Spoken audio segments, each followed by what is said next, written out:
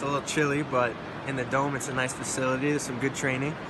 Uh, I never really expected to be at England's national team stadium, but um, yeah, I mean, it was quality training, something that you won't get over in the States. Yeah, for sure. Like, I love to hear that they broke down kind of like every kind of aspect of the game in like little half hour segments and kind of just broke it down, stopped, told you what you needed to do. Yeah, I would say the difference between it is the coaching.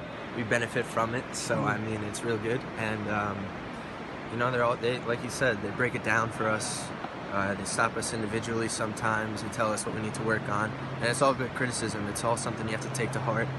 Um, but it- it's really good training. It's quality.